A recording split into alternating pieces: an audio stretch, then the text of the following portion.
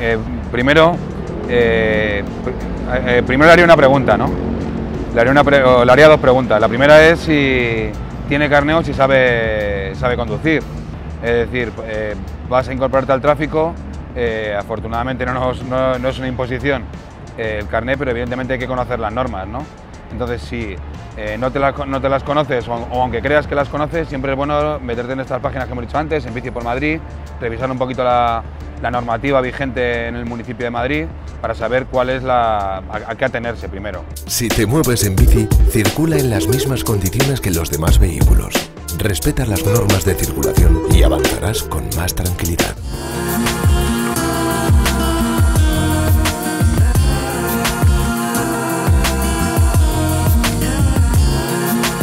Realidad el tráfico es verdad que para mí, yo como lo vivo es que sigue un patrón muy automático.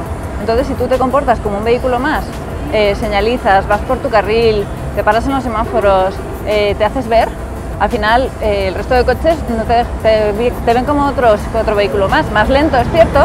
Cuando te ven, pues como si se encontraran con una barredora que va muy lenta, al final esa barredora te adelanta, cambia carril, te adelanta y sigue. Y al final tú ves cómo el tráfico fluye a tu alrededor sin que realmente te dé la sensación de que, estás de más, sino todo lo contrario, que eres parte del tráfico.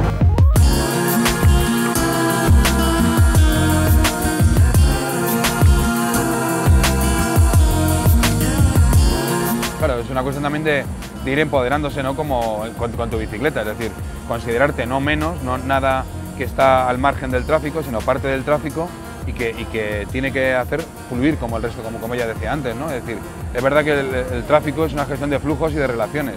Eh, es importante cuando, cuando vas a interactuar con un coche no, no- no- pensar en el coche, pensar en el conductor. El conductor eh, es deseable que piense en ti. Para ello, por ejemplo, el contacto visual en los cruces o en la gestión de cedas al paso es muy importante. Si tú miras a, a los ojos y tú ya, ya estás comunicándote, ya estás diciendo voy a pasar o vas a pasar.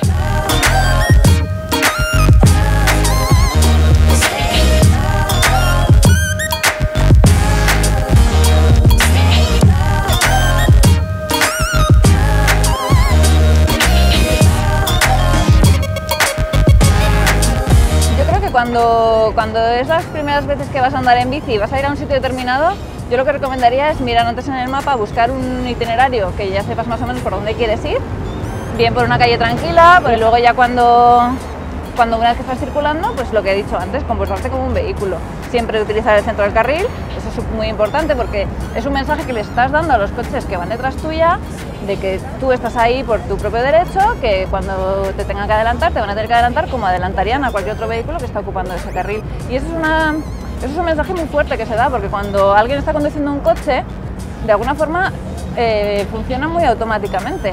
Tú cuando vas conduciendo un coche, de repente ves a alguien que va delante tuya y automáticamente frenas. Es que es una cosa que no la piensas.